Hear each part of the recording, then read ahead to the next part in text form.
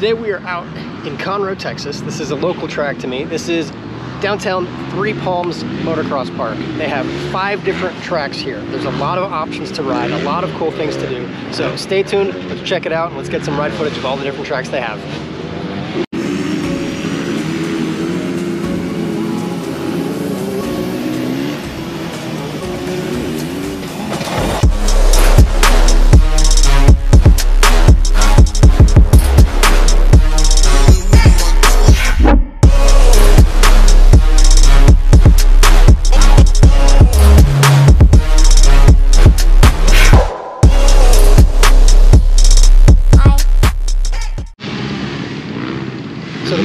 GP track is the track that's in the back corner. It's not the way back track, that's the woods track. We'll get to that one in a minute.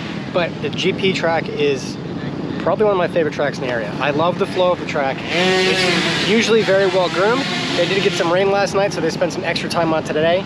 Uh, it does get rutted because it is still soft, but with the rain and the grooming, it's actually in really decent shape. They do a good job out here.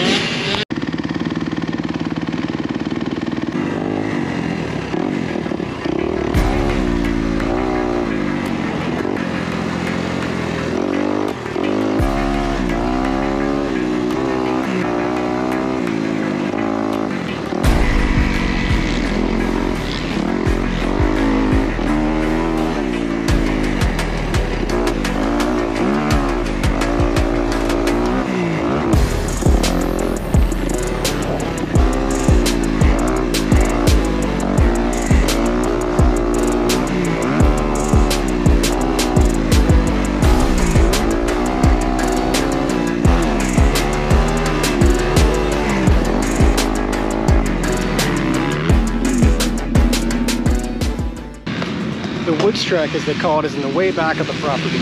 It's actually a pretty decent track for beginners to get started on, somebody that's just fresh new to dirt bikes. There's no jumps, there are some ups and downs and some turns, some berms. Um, right now it is a bit wet. You'll see out there from the video that uh, there's some puddles, so be cautious. Uh, obviously take a sight lap, it's your first time out there, but it's a good way to practice. It's a good little uh, beginner track.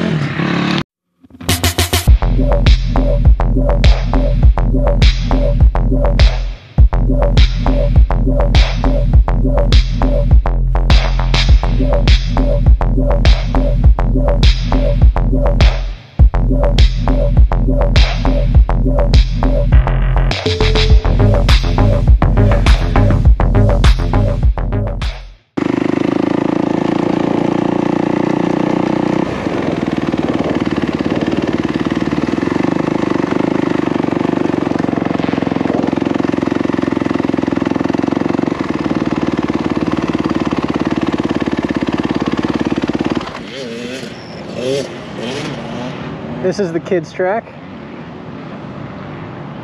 Very well maintained track. However, this track can be a bit intimidating for brand new kids. My children are a bit scared off by this track, but this is a great track for somebody who's on the faster 50s, 65. I think my kids could do it, but they just don't like the way that the jumps look.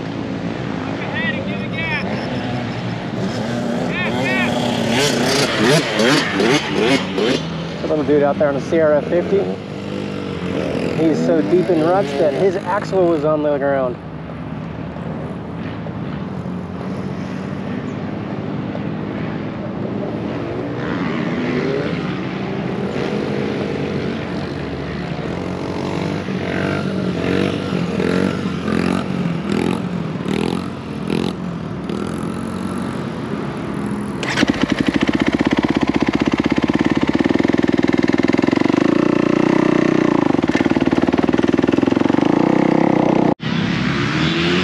Take back what I said about the GP track being my favorite. That sand track, the river track, amazing. Really good workout, really good flow. I really like that track. I think of all the tracks here, the river track is one of my favorites. Um, it is one that they don't open all the time. So check on their Facebook page, make sure that they list which tracks are open. They post out there virtually every time they're open. They say which tracks open when. So keep an eye on their social media, whether it be Instagram or Facebook. They do a pretty good job at that.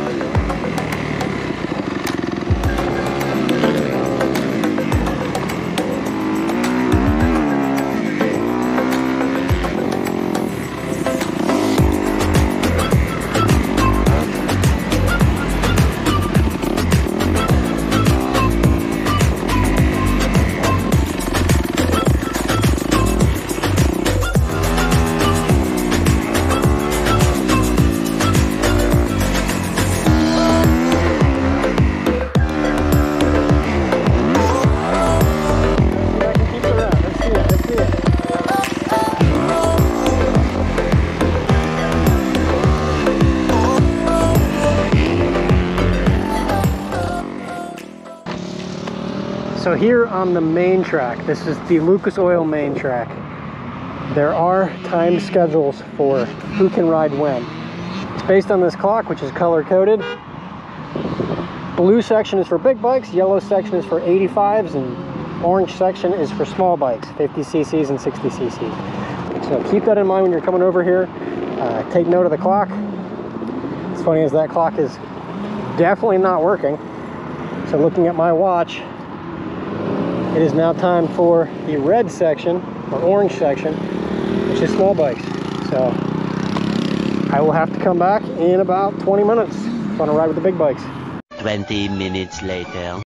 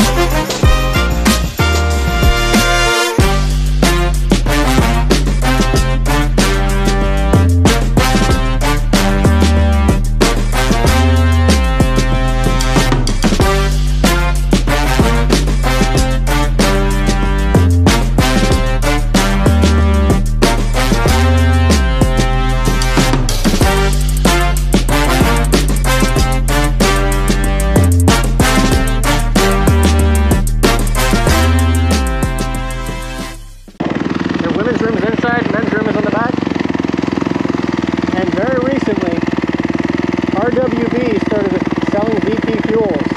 They have all fuel that you might need for the track. Two-stroke, four-stroke, and race gas.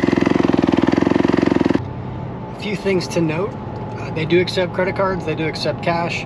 Um, they do require a membership. It is either a daily membership for $7 or an annual membership for $25, and then it's $35 to ride. Those are the prices as of today. Uh, please check their website linked below. They're very good about putting information like pricing out there on the website, so that'll keep you up to date on that. Um, you can sign the waivers online. Not necessary, you can always sign it on paper as well. You can park virtually anywhere on the property. Um, being as there are so many different tracks, you can park in the middle and then have as easy access to all of them. Or if you're just gonna ride there with your kids, you can park right in front of the kids track. Uh, that's totally up to you. There's not required parking spaces. There are electrical hookups by the main track. There are some electrical hookups by the kids track. Those I believe are just 110. Check with the front desk when you first check in. If you do have a camper and want to camp and hook up, they'll tell you which direction to go and if there's a cost involved in that. For the price point, I think they're spot on. Um, they charge $35 a day to ride. I think that's very fair. Even with the membership fee that's required to ride, either the seven or the $25 per year. Um, if you go more than three times a year, it's worth doing the, the annual pass versus the seven time $7 per ride. Um, but even then, that's $42. That's pretty good. You've got access to five tracks if you include the kids track, and they're all good tracks. And they're all fun to ride and very well maintained. They put a lot into the property. You can clearly tell they care about it and they care about the sport. So it's it's worth it. The track itself is about 40 minutes from my house. I feel like driving distance, it's probably a three hour to maybe a three and a half hour track. I, I think that it's worth a decent drive because of the number of tracks, because of the quality of the maintenance and the care of the property. I think that it's worth that. Met some guys who've been out there quite a few times, a lot more than I have, so I asked them some questions. Uh, apparently, the rain, we got more than we expected or more than they expected, and it was very wet out there. It's not usually that wet. I have not been to Three Palms in about a year, so going in, it's good to hear that that's not typically how it is. They did groom it. The track maintenance was on point. They groomed it this morning before they opened, and they groomed it around two o'clock in the afternoon. So they were out there with the bulldozer, knocking down all the ruts, making it nice and smooth again for everybody else who's still there for the afternoon. Always good to see that.